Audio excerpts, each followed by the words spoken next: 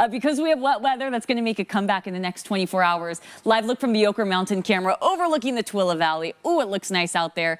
Blue skies, a few clouds, but those showers have tapered off. And boy, it feels good. We're in the low 60s right now in Salt Lake City. Breeze coming from the south 10 miles per hour, so that southerly flow really going to warm us up today. But take a look at these temperatures in northern Utah. Low 50s in Park City, 63 in Tooele low 60s all across the Wasatch Front. Um, and you can see down in St. George nearing 70 degrees, 62 in Moab, 62 right now in Green River with clear skies all across the state. We've got some clouds lingering along and over the higher terrain, but a nice day to enjoy the sunshine. Now, we have that high pressure that's pushing off to the east of us, and then we have a trough of low pressure, a cold front that's going to slide through the state tonight into tomorrow. That's going to bring us our next round of showers. So let's talk about that cold front tonight and what kind of impacts it's going to have. So that cold front will start sliding into Wendover between 5 and 6 o'clock and then into the Wasatch Front between 8 and 10 o'clock. It'll make its way through central and southern Utah uh, throughout the early morning hours tomorrow.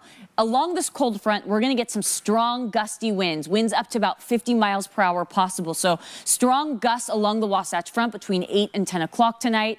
And then we'll get some showers developing a later, a little bit later on this evening. But the big concern with those gusty winds blowing dust as possible from Nevada, and that's going to drop our visibility. So I want you to be careful if you're traveling tonight into tomorrow morning. Um, you can see some rain showers developing by about 9 o'clock tonight, far northern Utah. Um, that's going to stick around for our morning time. Cache Valley getting some heavier rain by about midnight. Uh, we'll see rain on and off tomorrow morning, but it's really going to uh, kind of ramp up late tomorrow morning into the afternoon hours as we start to warm up. So you can see those rain showers by about noon, sticking around until 4 o'clock in the afternoon. Uh, the possibility for some isolated thunderstorms, and with those, some strong gusty winds. Early Wednesday morning, it sticks around, but then it's going to start clearing out Wednesday during the day. Really beautiful today, though. Look at this. Sunshine, 72 degrees. Kind of feels like a perfect day, if you ask me. A few clouds out there. We'll be in the low 60s in Park City.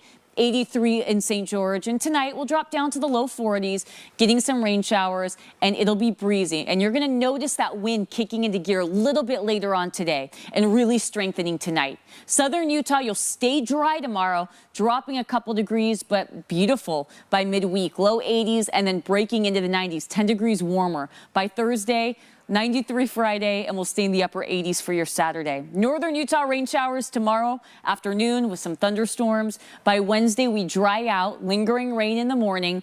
It's going to feel much cooler Tuesday, but you warm back up by the end of the week, upper 70s Thursday and Friday.